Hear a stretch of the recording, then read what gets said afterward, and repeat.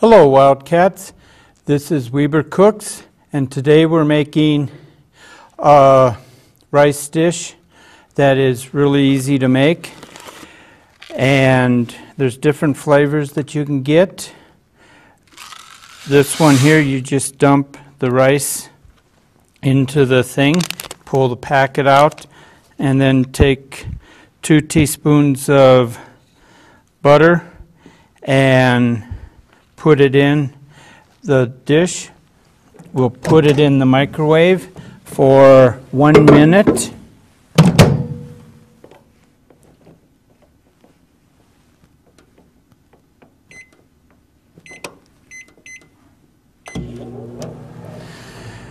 And while that's cooking, we'll just get the package ready to open.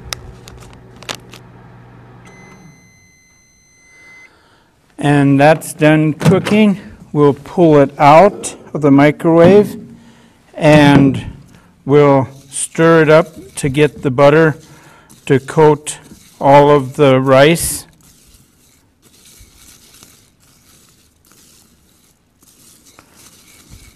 And when that's all done, we'll pop it in again for another two minutes this time.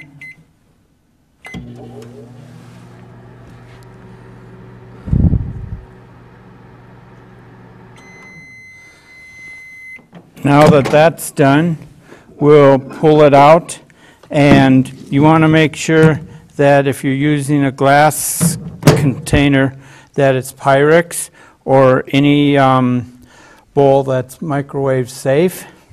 And we'll add two and a half cups of water to this.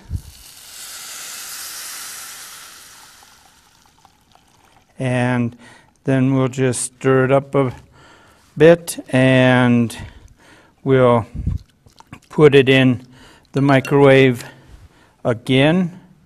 This time we'll set it for 20 minutes and that will make it come out great. And now that it's cooked for 20 minutes. You have this hot